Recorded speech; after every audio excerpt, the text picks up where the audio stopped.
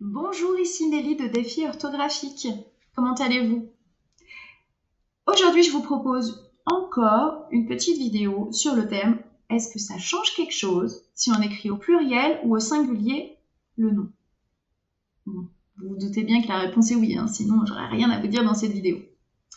Peut-être vous souvenez-vous de la vidéo sur le mot ciseau, un ciseau ou des ciseaux. Et eh bien aujourd'hui, j'aimerais vous parler du mot lunette. Effectivement, on peut trouver le mot lunette au singulier ou au pluriel. Et attention, vraiment attention, là, vous verrez pourquoi il ne faut vraiment pas se tromper. Bon alors, des lunettes, c'est le plus simple. Je pense que tout le monde connaît. On parle bien évidemment des verres correcteurs que j'ai devant mes yeux afin de me permettre de voir de façon beaucoup plus efficace. Euh, par exemple, moi, je, je peux vraiment faire grand-chose sans lunettes. Je répète, je ne peux vraiment pas faire grand-chose sans lunettes.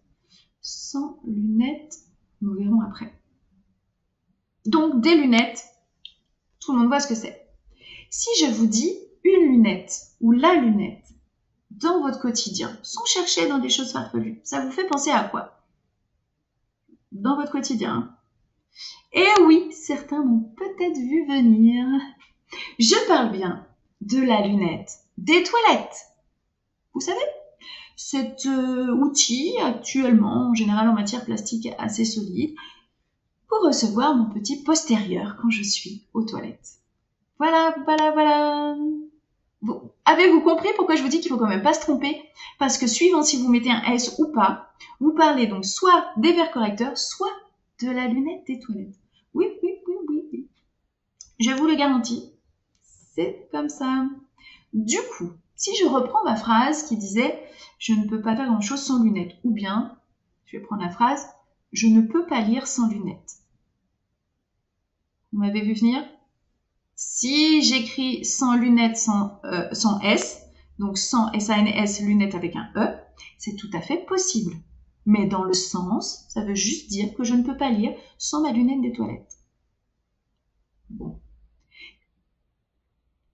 Je ne peux pas lire sans lunettes, étant donné que je parle de mes vers correcteurs qui s'écrivent toujours au pluriel. J'écris donc je ne peux pas lire sans lunettes avec un S à lunettes. Et oui, nous nous retrouvons donc avec un mot sans S-A-N-S qui veut dire absence. Donc, dans notre tête, ça fait un lien direct et je le comprends avec le singulier. Et pourtant, ce mot-là peut donc être suivi par un nom qui est au pluriel. Par exemple, dans notre cas, on retrouve sans plus un nom euh, écrit au pluriel parce que le nom change de sens suivant s'il est au singulier ou au pluriel. Nous avons vu un peu dans le même esprit aucun ciseau ou aucun ciseau avec un S. D'accord? Il y a aussi d'autres exemples.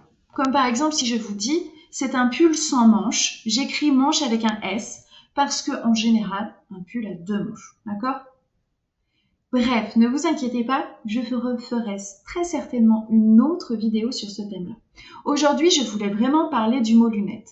Alors, je vous entends venir, vous allez me dire, mais Nelly, le plus simple, c'est de dire une paire de lunettes. Oui, je suis d'accord avec vous. Je ne peux pas lire sans avoir avec moi ma paire de lunettes. Ou j'ai oublié ma paire de lunettes. Petite remarque, je ne sais pas si vous aviez remarqué. Fut un temps, un grand opticien avait euh, embauché une très belle star américaine qui disait dans sa publicité Ce n'est pas une, mais bien deux lunettes gratuites que vous aurez si vous achetez chez nous. Je vous assure qu'elle ne disait pas une ou deux paires de lunettes, qu'elle disait bien c'est une ou deux lunettes que vous aurez chez nous. Donc bon, si vraiment on va loin, en fait, Sharon Stone, là, elle était en train de parler de lunettes des toilettes. Oh, Sharon, fais un petit peu attention à ce que tu dis. Bref, vous pouvez aussi me dire, oui, mais une lunette, ça n'a pas que le sens de la lunette de toilette. Je suis d'accord avec vous. Une lunette, c'est aussi en astronomie euh, le télescope, ce qui nous permet de regarder la Lune. D'ailleurs, l'une lunette, au niveau de l'étymologie, il y a un lien. J'aurais aussi pu parler de la lunette arrière dans ma voiture. Mais sincèrement, j'aurais pris vachement moins de plaisir à vous faire cette petite vidéo. En tout cas, moi, ça m'a bien amusé. Parce que je veux avant tout vous transmettre des astuces de façon ludique pour favoriser la mémorisation. J'espère vraiment qu'avec mes vidéos, j'arrive à vous prouver euh, que retenir les règles de grammaire, même celles qui nous enquiquinent depuis qu'on est tout jeune, eh ben c'est possible. En tout cas, si vous voulez progresser en orthographe parce que votre orthographe, parce que la façon d'écrire que vous avez à l'heure actuelle vous dérange dans votre vie professionnelle ou personnelle, sachez que c'est possible et qu'on peut obtenir très rapidement, bien entendu si on cible vers les besoins du quotidien, on peut obtenir très rapidement une, amélioration significative de la qualité de nos écrits. En tout cas, moi, je le sais et je suis prête à vous le prouver. Donc n'hésitez pas à me contacter à contact-orthographique.com ou bien bah, sur les réseaux sociaux en général à défi orthographique. Vous me trouvez et vous pouvez me contacter en message privé sans souci. Je serai ravie d'échanger avec vous.